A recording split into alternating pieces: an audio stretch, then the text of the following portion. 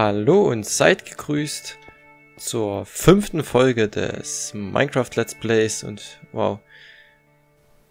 Was ist denn nur mit der Maus los? Ich habe es komischerweise immer noch nicht beheben können scheinbar.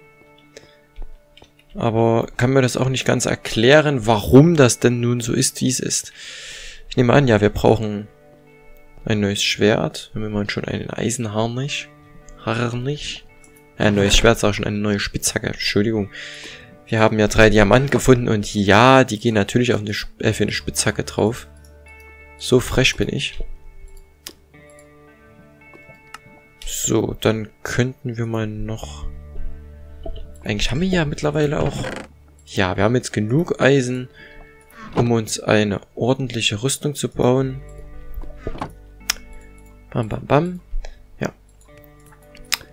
Ich habe mir so gedacht, jetzt nach diesen zwei Aufnahmen King of the Road, ich hoffe zumindest, dass das alles passt, nicht, dass ich irgendwas Verkehrtes gesagt habe. Die erste Folge kommt heute raus, hier am Freitag, dem 24. Ja, 24. genau, in vier Monaten ist äh, Weihnachten schon, wer hätte es gedacht. Das hat mir halt so gedacht, gut, dann nimmst du jetzt mal ein bisschen wieder Minecraft auf. Einfach, ihr wisst ja, Minecraft ist mal so da, um auch mal ein bisschen so zu erzählen von allen möglichen Dingen. Und da dachte ich, das machst du einfach. Und ja, wie ihr sehen könnt, oben links steht 1.12.2 ist immer noch so, wie es ist, denn es gab immer noch kein Update zum heutigen, bis zum heutigen Tage. Selbst Forge ist noch nicht, hoch, selbst Forge ist noch nicht geupdatet worden. Ja.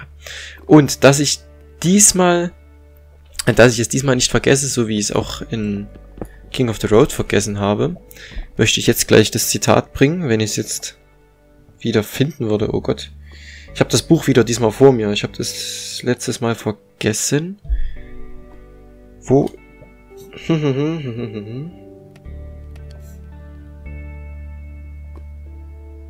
Ach ja, genau, hier ist es. Von Friedel Beutelrock. Viele meinen, sie stünden über anderen, wenn sie eine andere Meinung haben. Also, das Thema war heute Meinung. Ja.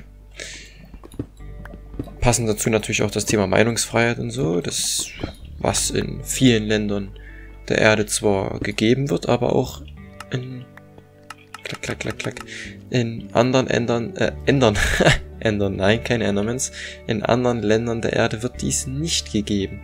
Oder ist dies nicht im Grundgesetz verankert, sagen wir es mal so. Gut. Was ich sonst noch sagen wollte, was ich leider bei King of the Road vergessen habe, hm, Redstone, ist die Tatsache, ihr habt es vielleicht über Twitter verfolgt, dass das mit der Aufnahme von diesen NES bzw. SNES-Spielen noch nicht so wirklich funktioniert hat.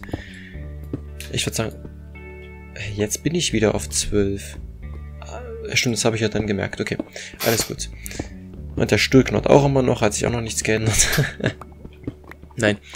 Ähm, es... Oh, ups. Einbruch. Ein Smaragd. Smaragd. Ich weiß leider nicht, woran es liegt. Ich kann, also ich habe da so ein na, Videograbber oder so, nennt man das, ja. Von Magix ist das eigentlich, um alte Videokassetten digitalisieren zu können. Das hat doch gut funktioniert mit so einem alten Videorekorder.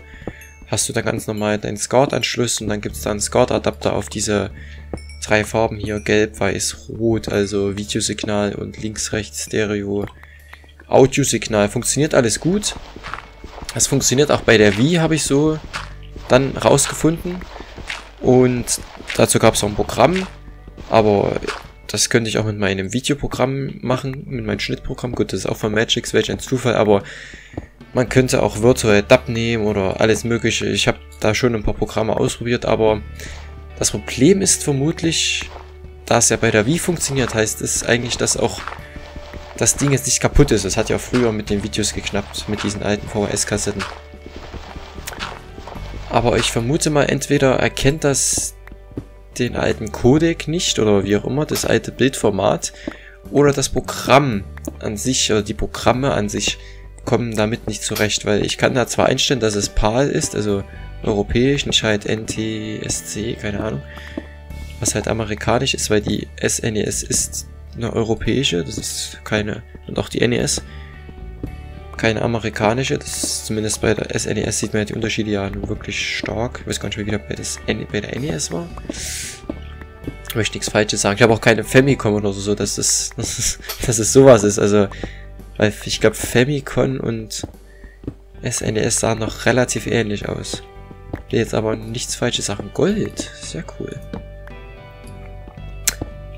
Und deswegen, also sollte jemand von euch da Ahnung davon haben, ich würde mich sehr über einen Kommentar... Fackel kaputt. Ich würde mich da sehr über einen Kommentar freuen, weil ich da nicht weiterkomme. Es hat's mal wirklich ein bisschen erkannt. Also beziehungsweise es erkennt, wenn ich das frisch reinstecke, erkennt das kurzzeitig wirklich das Videosignal. So, dabei ist es egal, ob ich das vorher splitte, also sowohl auf Fernseher als auch auf Rechner sehen will. Weil so wäre mir es ja am liebsten, dass ich auf dem Fernseher spiele und dann halt auf dem Rechner nimmt es das auf in diesem Moment. Sonst ist das Bild einfach zu klein, um da wirklich was zu erkennen. Oder ob ich das direkt wirklich pur anschließe und nur halt direkt auf dem Rechner aufnehmen möchte. Es funktioniert bei beiden nicht wirklich nur am Anfang kurz nach dem Reinstecken, ja, erkennt kurz ein Bild. Den, die Musik spielt die ganze Zeit, also das ist kein Problem.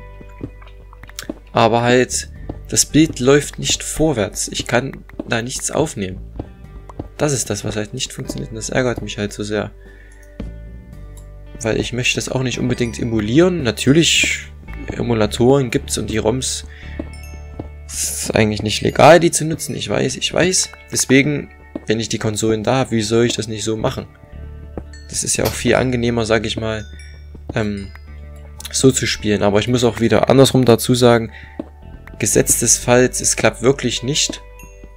Und ich finde auch nirgends im Internet mehr Hilfe dazu. Habe ich auch schon äh, solche USB-Controller gekauft. Also sprich die alten NES und SNES-Controller nur halt mit USB-Anschluss für den Computer. Die werden auch, also zumindest NES-Controller wurden gut erkannt. Und das wird da auch funktionieren, dann einen Emulator, äh, einen Emulator, nicht Emulator, einen Emulator aufzunehmen. Aber ja, mal sehen. Mal sehen, was da die, die Zeit da noch so bringen wird. Da lasst euch mal überraschen. Da muss ich mich auch selber überraschen lassen. so ist das nun mal. Silberfische, ich wusste es doch. Ich habe jetzt überlegt, warum baut sich dieser Stein so lang... Oh nein. Das war noch ein Silberfischstein. Hahaha. Glück gehabt.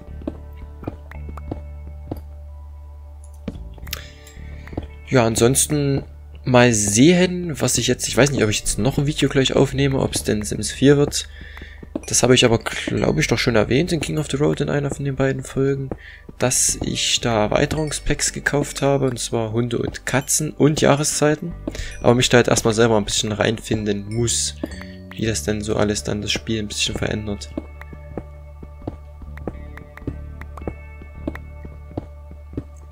Schon wieder Redstone. Ist zwar ein bisschen nervig, dieser rote Stein, aber ich glaube, der wird uns irgendwann noch behilflich sein. Sollten wir irgendwann mal Minecarts brauchen oder, keine Ahnung, automatische Weizenfarmen. Sollten wir wirklich so faul sein und irgendwann wirklich schleimartige Wesen treffen und Sticky Pistons, also klebrige Kolben bauen können, Eisen. Na, immerhin ein bisschen das klang jetzt nach Lava. Aber es ist keine Lava.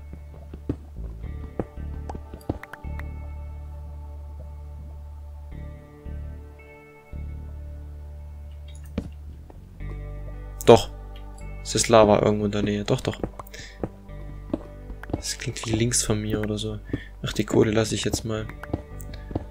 Ich möchte ja unbedingt eigentlich noch Diamanten finden in dieser Folge, aber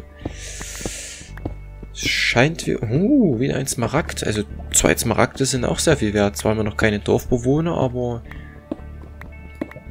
Ja. Jetzt ist die Lava ein bisschen lauter. Das heißt, von irgendwo wird gleich Lava auf uns reinbrechen. Ist das nicht cool? Naja.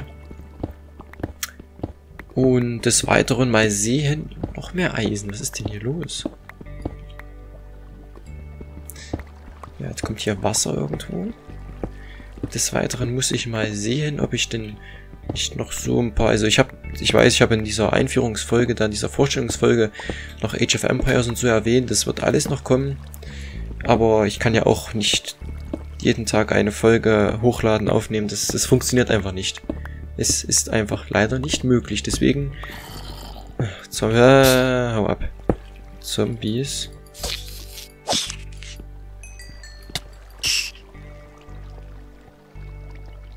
Oh nein. Hä?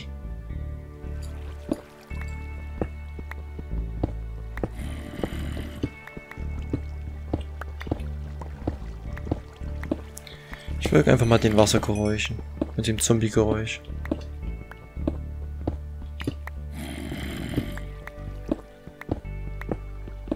Aha.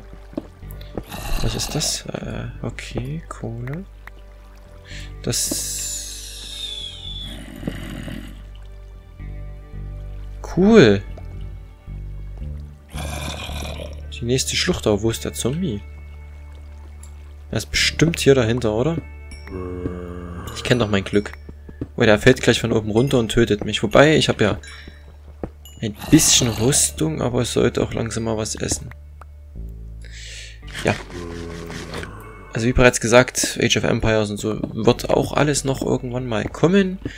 Aber vielleicht nehme ich auch, ich weiß nicht, Project IGI, ob das jemand etwas sagt. Das habe ich auch in meiner Kindheit sehr gern gespielt auch immer richtig viel Spaß gemacht. Das sind eigentlich bloß im ersten Teil, ich glaube 14 Missionen, im zweiten sind es vielleicht mehr, ein paar mehr, die man dann mal spielen kann, aber das ist, ach, das hat immer Spaß gemacht. Das ist jetzt nicht der Top-Shooter, aber es fällt für mich auch schon in die Kategorie Retro. Zumindest der erste Teil. Der zweite ist ein bisschen moderner, aber... Aber selbst den würde...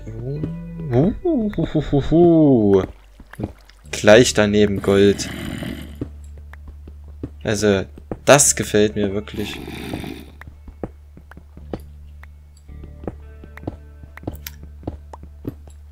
Eins, zwei, drei, vier, fünf. Fünf Diamanten, sehr schön. So, ich muss aufpassen, dass ich hier dann irgendwann noch wieder hochgehen kann. Äh, haha. Es ist sehr viel Lava. Da hinten ist Gold und Eisen. Ach, hier oben kommen die Zombies sicher. Ja, ja. Das ist verständlich. Ja, hallo, mein Freund. Und tschüss. Warst du allein hier? Bisschen Lapel.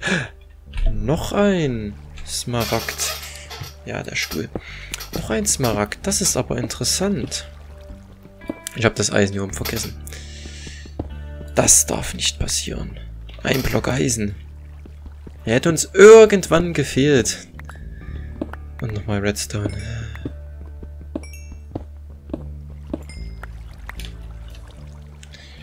Ich denke mal, das Wasser brauchen wir hier nicht. Okay, hier geht eine richtige Cave los. Hm, das sieht gut aus. Da ist nochmal Eisen, Gold. Hier unten geht es sicher noch weiter vielleicht. Noch mehr Eisen. Ja, hier runterfallen möchte ich jetzt nicht.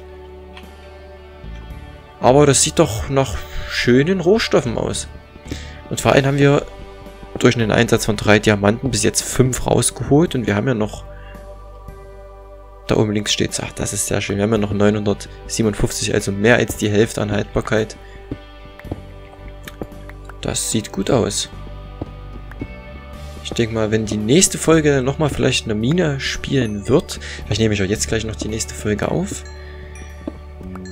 Zeit wäre eigentlich und irgendwie habe ich gerade wieder richtig Lust auf Minecraft. Das ist halt so, ich habe da schon mal erwähnt. noch mehr Smaragde, genial. Zumindest einen. Ich habe es ja schon mal erwähnt, ich habe das lieber so, dass ich das aufnehme, worauf ich gerade Lust habe. Und dann kommt das halt einfach. Also natürlich, fünf Folgen am Stück von irgendetwas ist langweilig. Das ist richtig, das verstehe ich. Und das, das möchte ich auch nicht. Weil das, ja, wie bereits gesagt, das ist langweilig. Aber mal zwei Folgen oder vielleicht nur mal drei Folgen am Stück von einem Spiel, wenn man gerade, sage ich mal, wirklich so in einem Fluss ist, mehr oder weniger, dann kann man das schon mal machen. Und ja. So geht's mir gerade mit Minecraft und ich möchte die, nein, die Kohle möchte ich jetzt gerade mal nicht abbauen. Geht's da oben weiter? Ja, da oben kann man doch bestimmt weitergehen, aber das bin ich gerade auch zu faul, das rauszufinden irgendwie. Naja, habe ich es nicht gesagt, hätten wir jetzt Wasser dabei. Sind sicher Diamanten drunter, oder? Vielleicht ist es auch bloß ein Irrglaube von mir, dass bei solchen kleinen Lavaseen oh, ein paar seltene Erze versteckt sind. Aber die Erfahrung sagt, manchmal stimmt das halt wirklich, aber auch leider nicht immer. So, okay. Ach ja.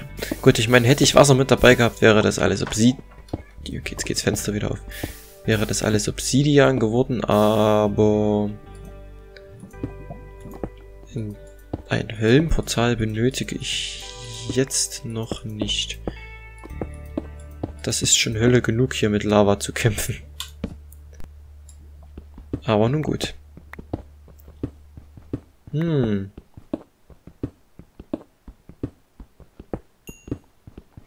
Ich mir jetzt so viel Mühe gemacht, um plus zwei Redstone rauszuholen?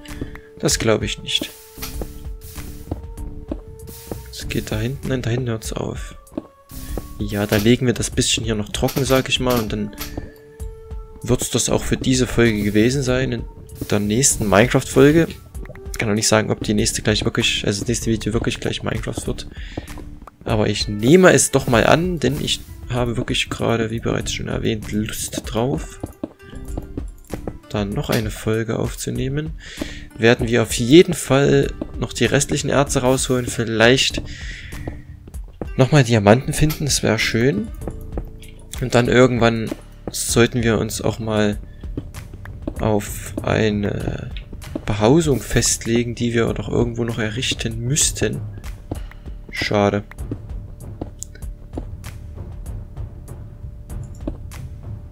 Es sieht nicht nach Diamanten aus.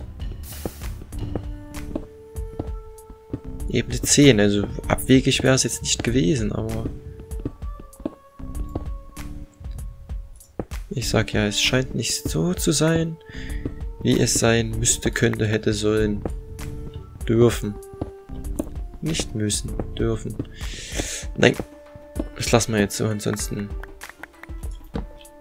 spawnen wieder die nächsten Zombies und alles. Das ist dann auch blöd. Gut, dann würde ich sagen, das war's von dieser Folge. Wir müssen hier dann weiter erkunden. Ja, vielleicht bauen wir doch noch die Kohle dann ab. Okay, mal sehen. Lassen wir uns überraschen. Wir sehen uns im nächsten Video. Bis dann.